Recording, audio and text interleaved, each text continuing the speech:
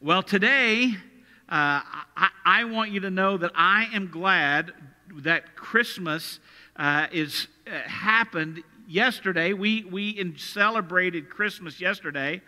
At our house, it was, it was kind of quiet. Uh, anytime Shad's not around, it's quiet. And uh, Shad and his family are down with Rachel's family for a few days, and, and Ben and his family don't get in until later tonight. Uh, so it was a small group of us at our house yesterday, and uh, but no children. I mean, it was like we ate in peace, and uh, you know, uh, I, I, I don't even understand, but it was such a pleasant thing. But I'll tell you what we did. We probably did the same thing you did. We took out bags of garbage bags full of wrapping paper. Anybody else do that? Now, let me tell you, I, I believe that one of the greatest inventions of, uh, of the 20, it probably happened in the 20th century, uh, but I've discovered them in the later stages of my adult life. Um, Christmas gift bags. Christmas gift bags. I, you, you, know what's wonderful about Christmas gift bags? You, you put the gift in the bag. If you really want to fancy it up, get some colored paper and put on top of it. If you want it to be really fancy and your wife bought some, put some paper with glitter on it in there. You might even tie a ribbon around it to kind of keep it closed, or you can do what I do get out the stapler and staple it all the way across. I didn't really do that, but I actually thought about it. I actually thought about it. But I mean, what a wonderful thing a gift bag. Anybody else besides me have trouble getting the folds right at the end of a box of it? Absolutely. It is the craziest thing. But there's something else wonderful about gift bags. You know what it is? Last year it was my bag. This year it was Jana's bag. Next year it's going to be Ava's bag. I mean, it's the gift bag that keeps on giving and giving and giving. Don't look at me like you guys don't do that. You know it is. I mean, we're at our house, we're so penurious that uh, we got we, have got um, sharpies dedicated to marking out last year's name so you can't see who the bag was. And if you put a couple little curly cues, it looks like it was a decoration part of the bag anyway. Now, I'm not sure Jana really completely approves of all this. And so, because that's true, I actually did better this year than previous years. I wrapped more of her gifts than I put in gift bags. Uh, so, uh, so that's just that's something uh, that we did. But, anyways, I, I hope that uh, we we've been during this month of December, uh, we haven't been unwrapping gifts, but we have been unwrapping the gift of Christmas, the real meaning of Christmas. Far too many people unwrap Christmas gifts without really ever unwrapping the gift of Christmas. History tells us that the first celebrations of the birth of Jesus Christ that are recorded are about 300 years after he died. But why were those celebrations happening? Those celebrations were happening because people were remembering to celebrate the birth of the Savior, the incarnation. If you think about it, it's really quite amazing what happened yesterday.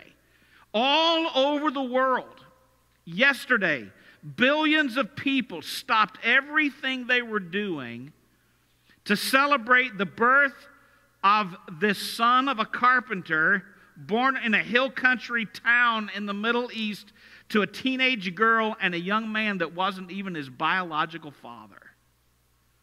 Jesus never spoke to more than a few thousand people at one time. He never traveled more or less than 100 miles from home. And yet, in the last 24 hours, seven days a week, it has been last week and from this week on, hey, Marie, if you'll just hang into a place and get there, I'd stay there with me. I appreciate that. Thank you so much. No, you're good. I'm glad you're here and I'm glad you're with your family. Did you have a good Christmas? Good. I'm so glad you did. I'm so glad you did. And I, and I did too, by the way. I, I had good food to eat at Christmas. Did you? Did you have good food to eat at Christmas? Yeah, good. Good. Pumpkin pie? I had pumpkin pie. It was really good. Y'all excuse us. I haven't seen Marie in a while. Glad to see you again today. What a blessing. Anyways, uh, as I was saying that Jesus n- never spoke to, uh, to a lot of people, uh, more than a few thousand at a time. And yet, in the last 24 hours, people all over this world have stopped and they have read the words that he said. They have, uh, they have studied the, uh, the, the reasons why he came, and they have worshiped him as God. That's why James Merritt wrote this There is more to the glory of Christmas than just the story of Christmas. There's more to the glory of Christmas than just the story of Christmas. The incarnation, God the Son coming to be born as a baby in Bethlehem, was just the beginning of a round trip that Jesus took from heaven to earth and then back to heaven. That has been our focus these weeks as we have unwrapped this gift of Christmas, the real meaning of Christmas. A few weeks ago, we studied Christmas biology. We learned that Jesus was born of a virgin. He had an earthly mother, but a heavenly father.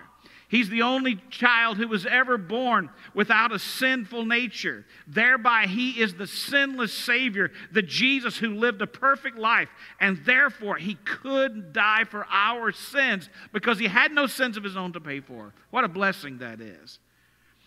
But then we looked last Sunday at Christmas theology. We learned that Jesus was a human being just like every baby is a human being. But he was also the Son of God, unlike any other baby who has been born or ever will be born. Jesus was fully man and is fully God. But that's still not where the story ends. Today, we conclude this study with what we're calling Christmas doxology. Christmas doxology. Now, some of you may recognize that word doxology from the hymn book. You, you, you know it? Praise God from whom all blessings flow. Boy, I've got that high, don't I? Praise Him, all creatures here below. Praise Him above, ye heavenly host. Praise Father, Son, and Holy Ghost. Well, that did have that high. But you've heard that before, right? I mean, that, that's what's called uh, the doxology. The old timers used to call it Old 100th. I think that's because of the place that it was in, in one of the old hymn books. A, a doxology is a term that comes from two Greek words. One word means praise or glory, and the other one uh, means a saying or a word. So, a, a, doxology is literally a word or an expression of praise and glory. Now, in the scriptures, Hebrews chapter 13 defines the word praise as the fruit of our lips, giving thanks unto his name. That's Hebrews chapter 13 and verse 15. To understand Christmas doxology, then, this morning we're going to turn uh, not to uh, Matthew or Luke uh, who told us uh, uh about uh, the shepherds and, and uh, even the wise men who later came to the birth, but rather we're going to look at, at a different New Testament writer, the Apostle Paul.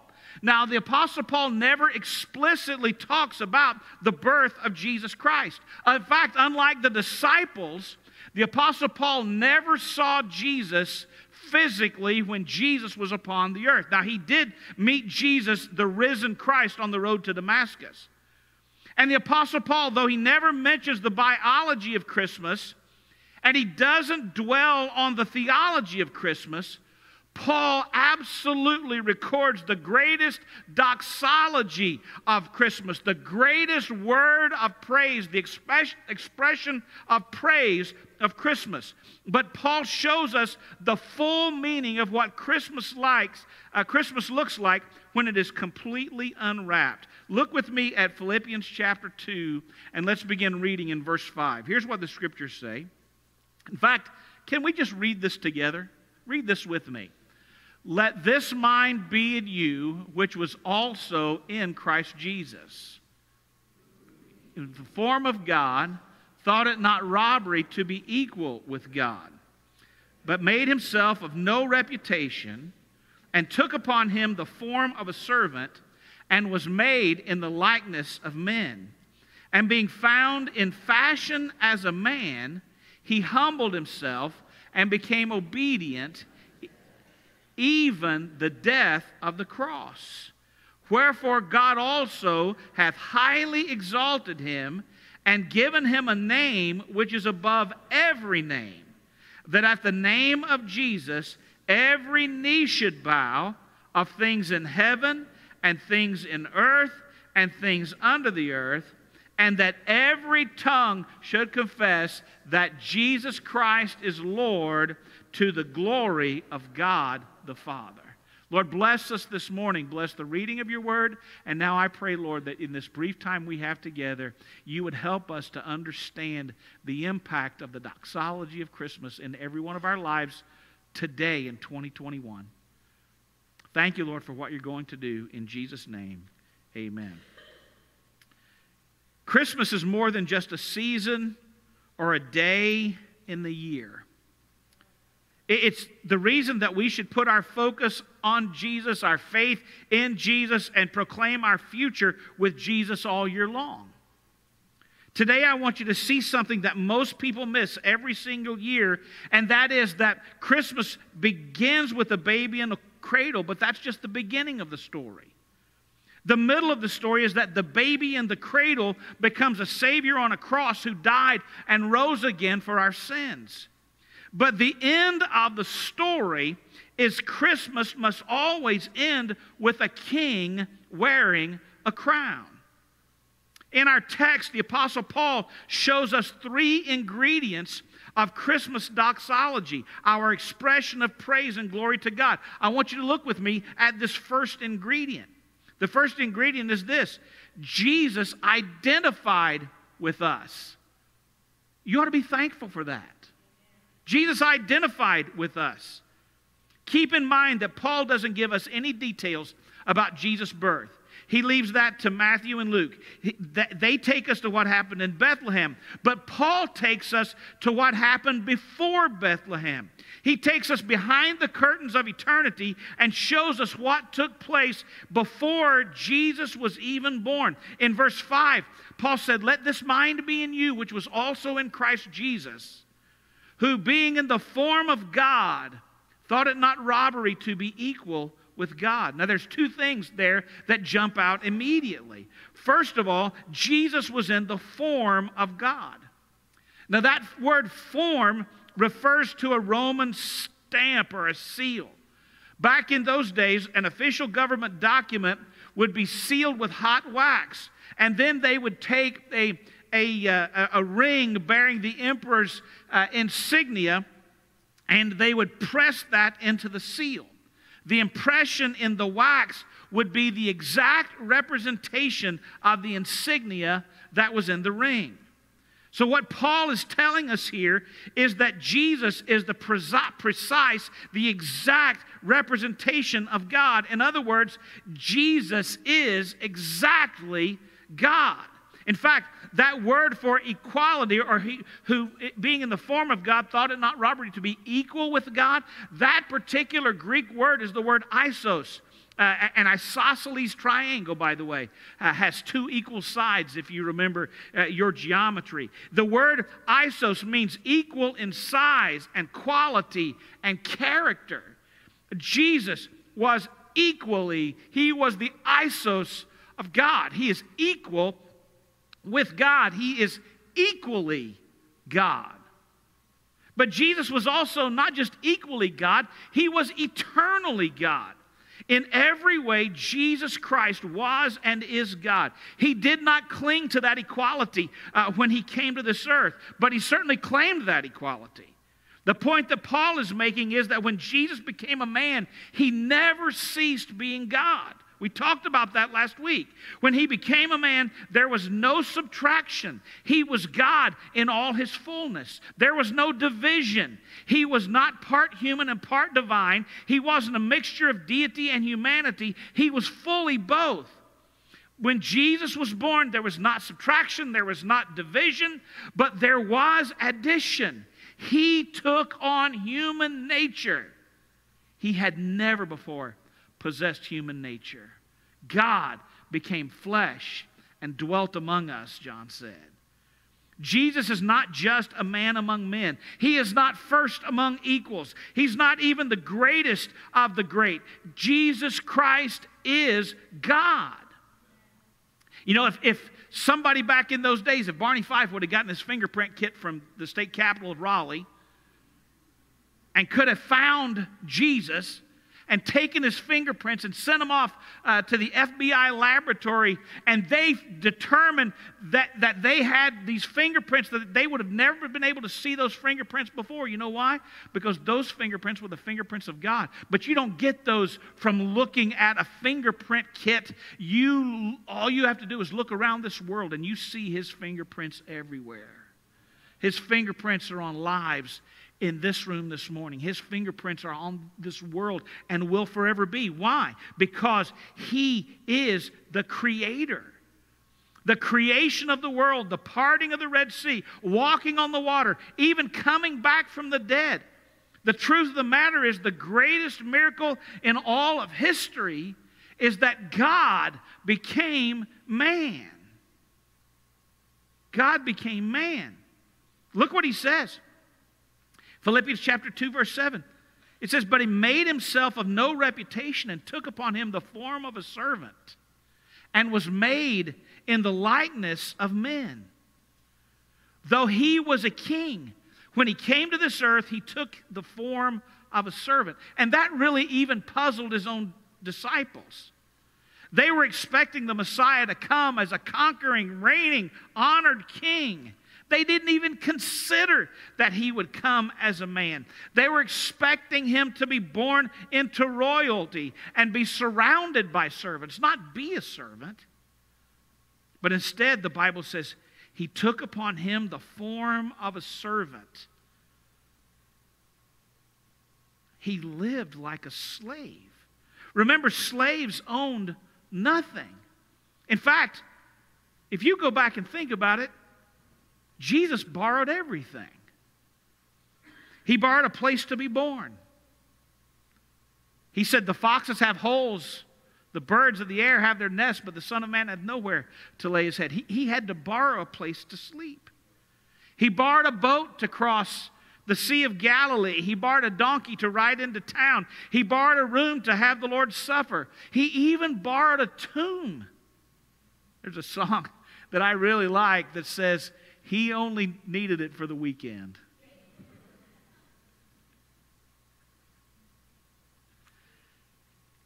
He was born in the likeness of man. That word likeness there is a word that means to be exactly what it appears to be. Jesus was not a clone. He was not God in disguise.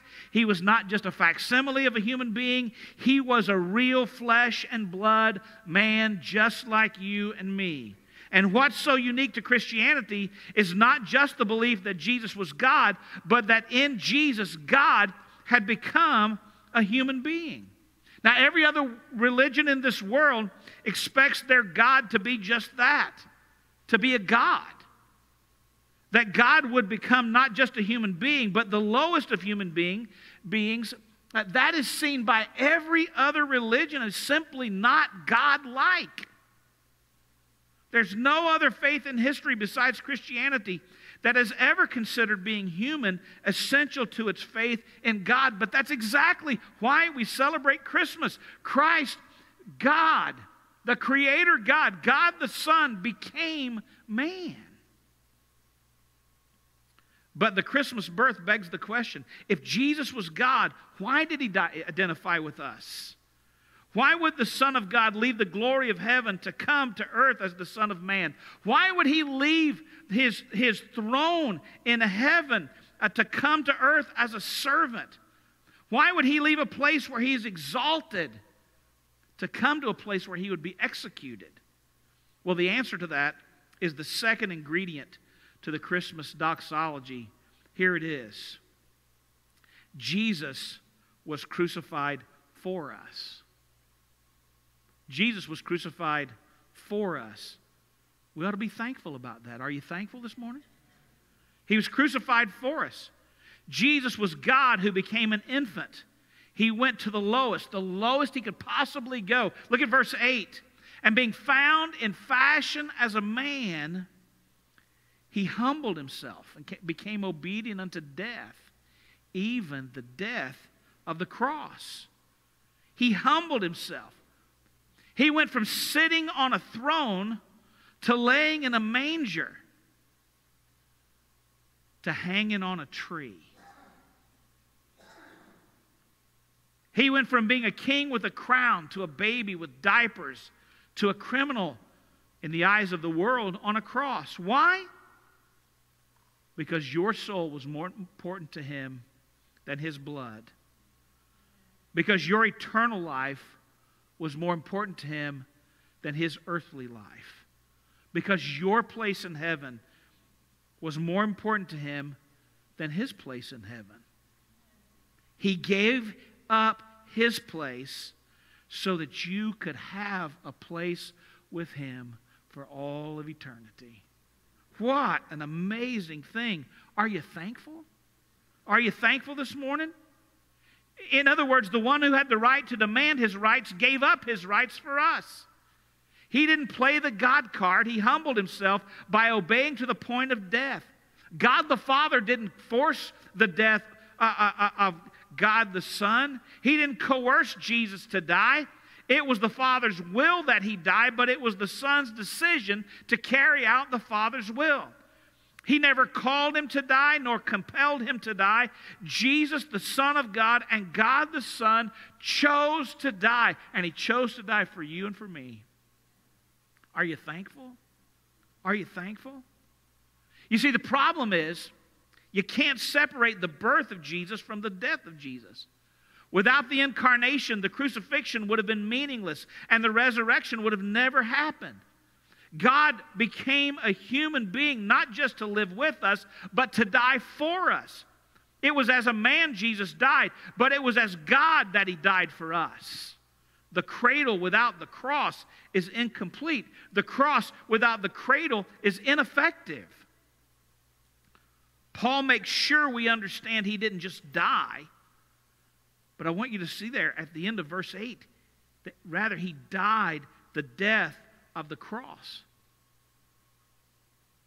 One of our missionaries, Boyd Lyons, longtime missionary in the Philippines, dear friend to so many, pastor, uh, uh, the father of Pastor Eddie Lyons over at High Street Baptist Church.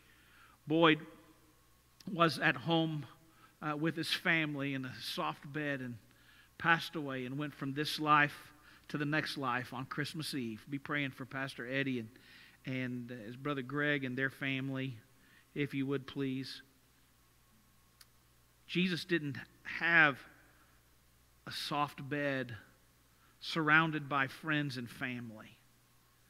Jesus died the worst form of a criminal death you could imagine. To this day, some have speculated the crucifixion is still the most cruel, excruciatingly painful, shameful form of execution that's ever been conceived by humanity.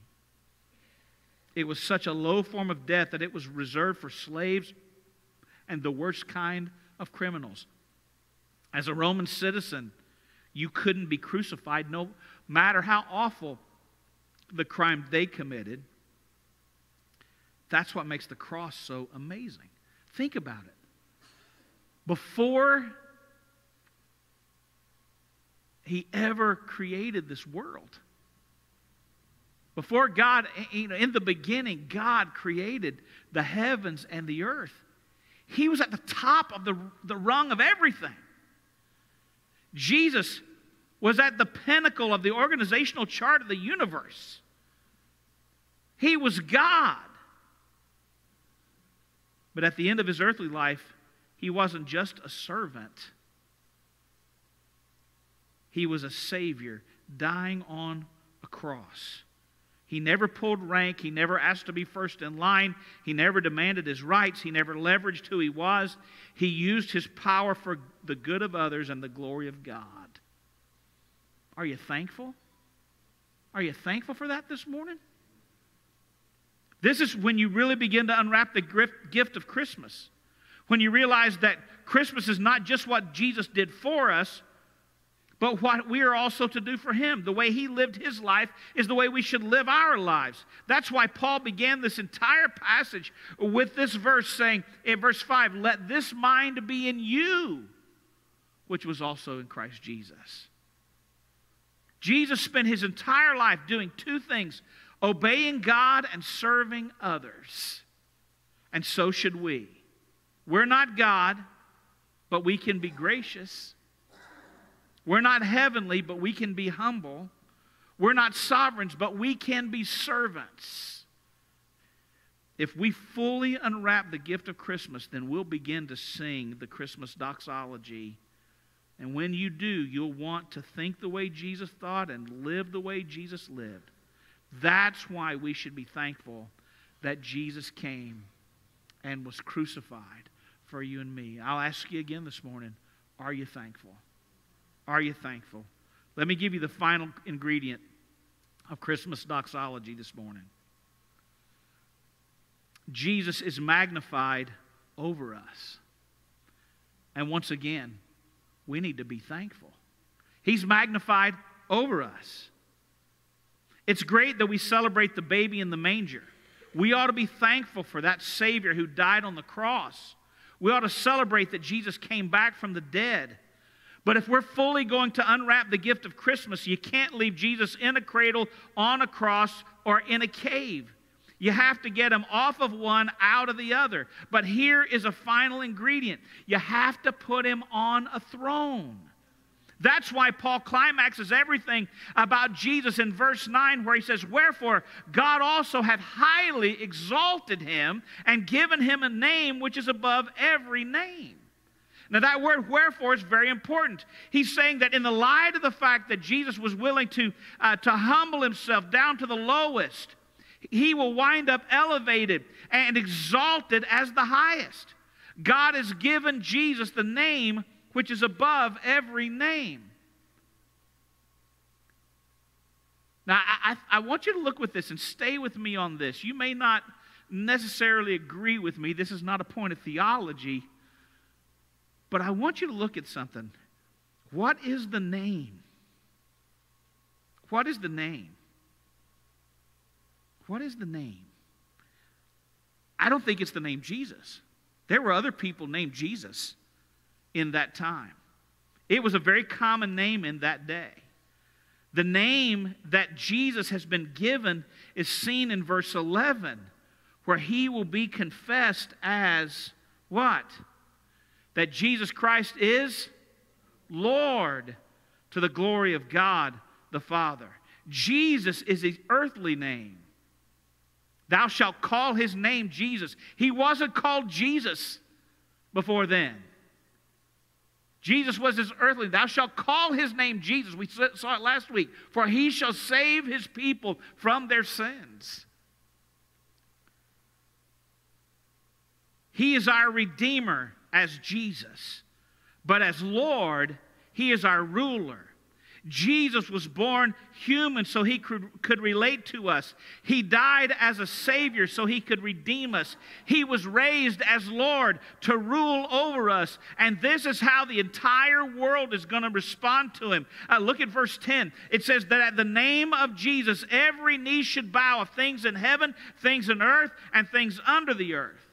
Now, when you bow, you're surrendering. When you uh, want to honor someone and exalt someone, and elevate someone, lift someone up, you bow before them.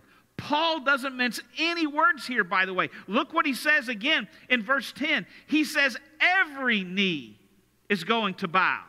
By choice or by force, every knee is going to bow.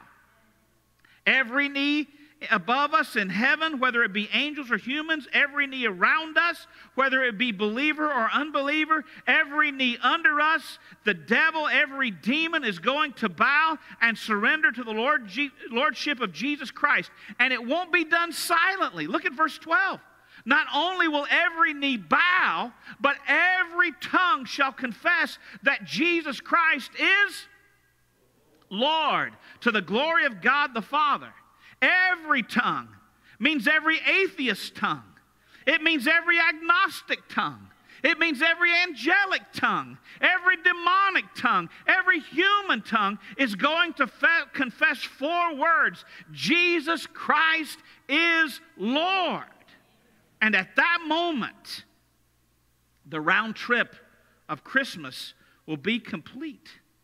That baby that was crying in a cradle, that man that was dying on a cross, that Savior who rose again the third day will be back where he has always been in eternity past and where he will always be in eternity future. He will be reigning on a throne in heaven because he is Lord. And it's all going to be done to the glory of God the Father. The purpose of the universe the purpose of all history, the purpose of your life and mine, is to bring glory to God. And when we fully unwrap the gift of Christmas, you're going to understand. Christmas is not primarily about giving Christmas gifts to each other. Christmas is ultimately about giving God the praise and glory that He deserves because of the gift of Christmas that He has given to us. Are you thankful this morning? Are you thankful? Now, it's really interesting to note, by the way, that there are no recorded births in Scripture after the birth of Jesus. The last genealogy listed in the New Testament is that of Jesus. Why? Because the, the entire biblical record has pointed to the birth of the baby that was born, to God coming in the flesh to save us all. That's what it all pointed to. Everyone and everything was getting ready for God's gift of Christmas. God became one of us so that we could be with Him forever and ever. Are you thankful this morning? Are you thankful? He became one of us. He deserves all the glory and all the praise. Let me end with a story that James Merritt recorded that was told by the, a plastic surgeon named Maxwell Maltz. He told about a man who had been injured attempting to save his parents in a burning house. Sadly, his parents died in the flames, and this man's face was burned and he was permanently disfigured. Somehow, this man had the idea that this was God's punishment on him because he couldn't save his parents. And he wouldn't let anyone see him. He was so, so badly burned and so permanently disfigured, he wouldn't let anyone see him. He, he just com- stayed completely away from everybody, including his wife. One day she went in to see this plastic surgeon, this renowned surgeon, Dr. Maltz, to ask him for help. He knew about the case and he said to the woman, I think I can restore his face to where he'd be willing to see other people. Well, she knew that wouldn't help because the husband would refuse any help. He already had. And she refused the doctor's offer flat out right then. He said, Then why did you come to see me? And she said this I want you to disfigure my face so that I can be like him. If I can look like him and hurt like him, maybe he will let me back into his life. Of course, Dr. Maltz was shocked and of course, he denied her request. But he was so moved by the story and by this woman's love that he asked if he could go and see her husband. He got to the place, he knocked at the door, and the man refused to open it. Dr. Maltz said, I, I know, Sir, I know you're in there. I, I'm a plastic surgeon and I know that I can restore your face. There was no response at all. He said, Please come out. Still no response at all. Still speaking through the door, Dr. Maltz told the man what his wife had done. Sir, she wants me to disfigure her face and make her face like yours so that you will let her back into your life. That's how much she loves you. And after a brief moment, in total silence, the man opened the door. That woman and the way that she loved her husband is only a fraction of how much God loves us. He took on our disfigurement. He became flesh. He became like us. He suffered like us. He died like us and for us so that we could be like Him and with Him forever and ever. Are you thankful? Are you thankful this morning?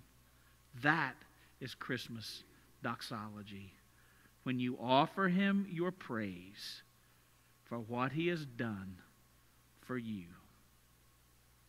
That is Christmas doxology. Would you bow your heads with me today?